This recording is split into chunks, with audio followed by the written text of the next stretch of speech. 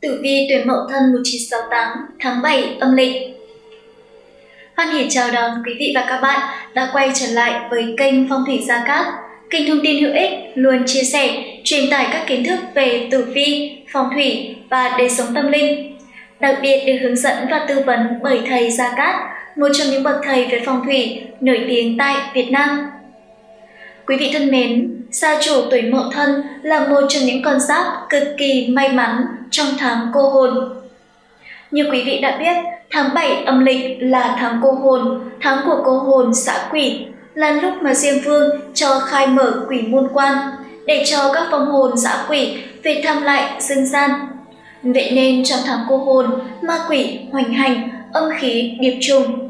Vậy nên các cụ khuyên chúng ta không nên làm việc lớn trong tháng cô hồn này nhưng cái gì cũng sẽ có ngoại lệ của nó. Trong tháng 7 âm lịch đen đuổi này thì những người tuổi mậu thân lại mang cho mình số mệnh giàu sang, được thần tài chiếu cố, ban lộc trời cho. Mặc dù từ đầu năm đến giờ, mẹ chủ tuổi mậu thân đã gặp không biết bao nhiêu khó khăn, vất vả, làm mọi việc hầu hết bị giang dở không thành khiến cho mệnh chủ đôi khi bị mất động lực, niềm tin vào cuộc sống. Ấy vậy mà trong tháng 7 âm lịch, cuộc đời của họ quay ngoắt 180 độ, sự nghiệp phất lên như diều gặp gió, khiến cho không biết bao nhiêu người phải cúi đầu thán phục. Trong cuộc sống, không chỉ cần cố gắng là đủ, mà thành công của mọi người hầu hết còn dựa vào may mắn. Trong chương trình ngày hôm nay, Kinh Phong Thủy Gia Cát sẽ chia sẻ với quý vị về vận hạn cung cát cũng như mọi khó khăn, thuận lợi của mệnh chủ tuổi Mậu Thân trong tháng 7 âm lịch năm Tân Sửu. Cụ thể hơn, thông qua tử vi thời điểm này, mệnh chủ tuổi Mậu Thân sẽ biết được cuộc sống có những thay đổi như thế nào so với năm trước. Liệu có điều gì tốt sẽ xảy đến hay không? Xin mời quý vị hãy cùng theo dõi chương trình ngày hôm nay.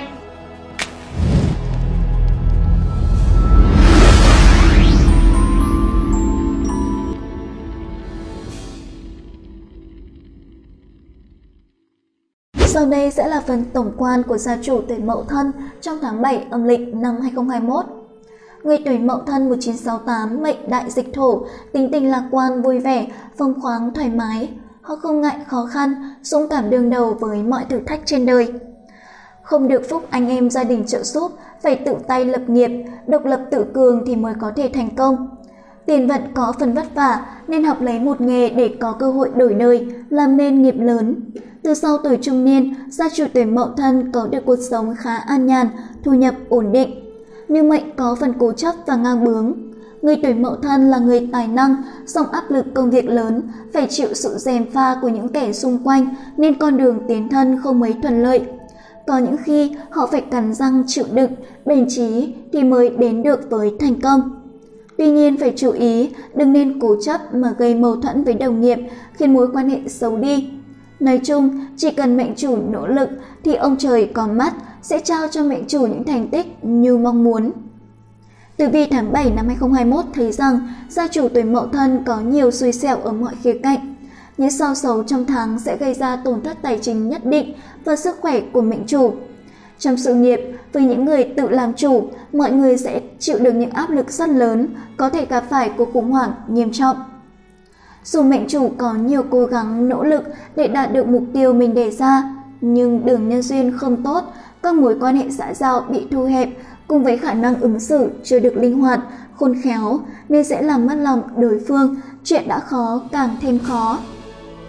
Tháng này, quý nhân sẽ cùng nâng đỡ cho mệnh chủ, giúp mọi người nhìn rõ hơn hướng đi phù hợp với bản thân. Song nếu suy nghĩ bi quan, tiêu cực thì chưa chắc mệnh chủ có thể vượt qua giai đoạn khó khăn này. Sự tính toán nghi ngờ sẽ khiến cho những người xung quanh xa lánh. Gia chủ tuổi mậu thân nên chú ý để hài hòa hơn trong các mối quan hệ.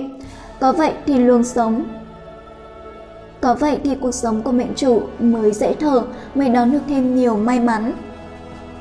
Mộ dung thổ gặp bình dương hỏa nên gọi là thực thần, nghĩa là thân bị sinh xuất tiết mất khí, nên trong tháng này gia chủ tuổi mậu thân cần hết sức chú ý, cẩn thận trong mọi công việc. Một chút sơ suất có thể khiến cho mọi sự cố gắng của bản mệnh đổ sông đổ biển. Mệnh chủ cũng cần chú ý tiểu nhân ganh ghét, quấy phá công việc cũng như gia đình mình. Quý vị thân mến, trong phần tiếp theo của chương trình, kênh Phong thủy Gia Cát xin chia sẻ rõ vận trình gia chủ tuổi Mậu Thân trong tháng 7 âm lịch qua từng phương diện cụ thể của cuộc sống. Thứ nhất về sự nghiệp, quan vận. Với tuổi Mậu Thân, sự nghiệp gần như bị bỏ lại vì hầu hết mệnh chủ đã thành thơi hoặc làm ít dần hoặc đã nghỉ hưu và sự nghiệp đang dần rời xa. Nếu mệnh chủ vẫn còn làm việc, hãy chắc chắn rằng mọi người đặt sức khỏe lên hàng đầu. Lúc này, mệnh chủ nên tận hưởng hạnh phúc của mình. Gia chủ tuổi Mậu Thân đã bước sang tuổi 53 nên dành thời gian để nghỉ ngơi, dưỡng sức sau những ngày làm việc căng thẳng, tránh những sự cố về sức khỏe ảnh hưởng đến mệnh chủ.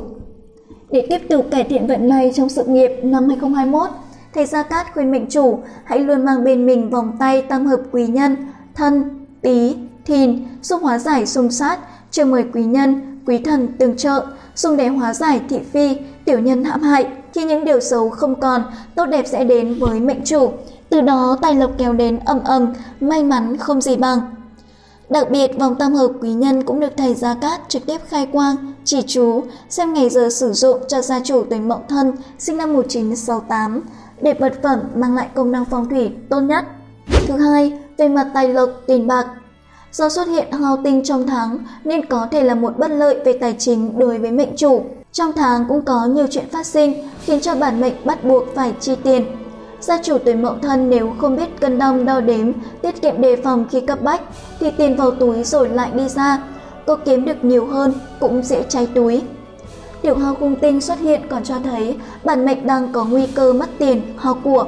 Tuy số tiền mất mát không quá lớn, nhưng ở thời điểm kinh tế khó khăn như hiện giờ thì đó cũng là một vấn đề khá lớn mà mệnh chủ tuổi mậu thân phải đối mặt. Nên biết phòng trừ những chuyện bất ngờ có thể xảy ra, đừng chủ quan mà đến lúc trở tay không kịp. Sông có khúc, người có lúc, không ai biết ngày mai có thể có biến cố gì đến với mình. Đặc biệt, trong thời điểm này, gia chủ tuổi mậu thân hãy sử dụng pháp khí phong thủy nhà Phật, bát bảo, tâm kinh Pháp khí sẽ giúp mệnh chủ xua đuổi những hung tinh, vận hạn xấu, ảnh hưởng đến công việc, con đường làm ăn. Đồng thời pháp khí sẽ chiêu tài lộc, tăng may mắn, cho mời quý nhân tương trợ, giúp sự nghiệp, việc kinh doanh, đầu tư của mệnh chủ được thuận lợi và phát triển rực rỡ hơn. Thứ ba, về mặt tình cảm, gia đạo. Theo tử vi 2021 tháng 7 âm lịch, chuyện tình cảm của những người tuổi mậu thân khá ảm đạm. Bản mệnh không thường xuyên dành thời gian cho gia đình mình, quá mệt mỏi và áp lực khiến gia chủ sẽ mất kiên nhẫn, nổi nóng với người thân của mình. Gia đình mệnh chủ vào tháng này cũng gặp một số chuyện không hay, có xảy ra xích bích nhẹ giữa con cái và cha mẹ. Mậu thân nam mệnh là chủ của gia đình, tiếng nói của mệnh chủ sẽ được tôn trọng nên đứng ra để giải quyết mâu thuẫn. Mậu thân nữ mệnh là người mẹ, người vợ trong gia đình. Mệnh chủ cần phải ôn hòa trong lời nói, cư xử, hãy là tấm gương tốt để con cái noi theo. Thứ tư, về mặt sức khỏe. Tử vi tháng 7 âm lịch cho rằng trong tháng này sức khỏe có thể có chút khó khăn với người tuổi mậu thân. Đành rằng ở tuổi này, sức khỏe mệnh chủ đang suy yếu dần do hệ miễn dịch giảm, có dấu hiệu của các căn bệnh tuổi già. Nhưng cũng là do mệnh chủ chủ quan, không quan tâm đến sức khỏe hay với một số người vẫn còn phải nặng lòng với công việc, không có thời gian. Mệnh chủ cần chăm sóc cơ thể tốt, do chế độ ăn uống hợp lý nhẹ nhàng, chăm chỉ luyện tập các bài tập vận động, thể thao theo độ tuổi. Gia chủ tuổi Mậu Thân sinh năm 1968 hãy luôn mang bên mình pháp khí phong thủy, minh quang pháp bảo. Đây là vật phẩm phong thủy có tác dụng kỷ tà, hóa sát, đem lại may mắn, bình an và sức khỏe cho gia chủ. Để vật phẩm phát huy tác dụng tốt nhất, thầy Gia Cát sẽ khai quang, chỉ chú, xem ngày giờ sử dụng vật phẩm theo tuổi của mệnh chủ Mậu Thân sinh năm 1968. Quý vị thân mến, trong phần cuối của chương trình, Kỳ Phong Thủy Gia Cát xin chia sẻ những ngày cát lành, đại kỵ trong tháng 7 âm lịch để gia chủ tuổi Mậu Thân có thể nắm rõ, tránh trường hợp không may xảy ra. Xin mời quý vị hãy cùng theo dõi. Tháng 7 âm lịch bắt đầu từ ngày mùng 1 tháng 7, kết thúc vào ngày 30 tháng 7, từ ngày mùng 8 tháng 8 đến ngày mùng 6 tháng 9 dương lịch. Tháng Bình Thân nạp âm sơn hạ hỏa, thăng Thân lục hợp tị, tam hợp tý, thìn thành thủy cục, xung dần, hình dần, hình hợi, hại hợi, phá tị, tuyệt mão. Đối với người tuổi mậu thân trong tháng 7 âm lịch cần tránh các ngày. Thứ nhất ngày âm lịch mùng 3 tháng 7, tức ngày mùng 10 tháng 8 dương lịch, nạp giáp, canh dần. Thứ hai ngày âm lịch 15 tháng 7, tức ngày 22 tháng 8 dương lịch, nạp giáp, nhâm dần. Thứ ba ngày âm lịch 27 tháng 7, tức ngày mùng 3 tháng 9 dương lịch, nạp giáp, giáp dần. Đây là ba ngày không được cắt lành khi tính theo tuổi của mệnh chủ mậu thân. Trong những ngày này, mệnh chủ cần hết sức chú ý, tốt nhất không nên thực hiện những công việc quan trọng. Lời khuyên từ các chuyên gia phong thủy cho bản mệnh là nên chú ý tới sức khỏe nhiều hơn, chi tiêu tiền của và những việc cần thiết, không nên buông tay quá chán. Đồng thời, để công việc thành công may mắn kích công danh tài lộc, tình duyên, gia chủ nên sử dụng vật phẩm phong thủy, minh quang, pháp bảo. Đồng thời nếu mang vật phẩm bên mình sẽ hỗ trợ tốt cho sức khỏe của gia chủ, tăng cường vận khí, giúp gia chủ đón tài lộc, nhận được nhiều may mắn cả trên con đường tình duyên và sự nghiệp. Ngoài ra trong tháng còn có một số ngày cát lành để gia chủ tuổi mậu thân tiến hành các công việc liên quan đến xuất hành hay tiến hành những công việc quan trọng hoặc có thể tiến hành những vấn đề nhỏ trong gia đình đều hết sức thuận lợi.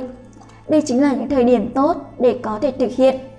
Thứ nhất ngày âm lịch mùng 6 tháng 7, tức ngày 13 tháng 8 dương lịch, nạp giáp, quý tỵ, nạp âm, trường lưu thủy.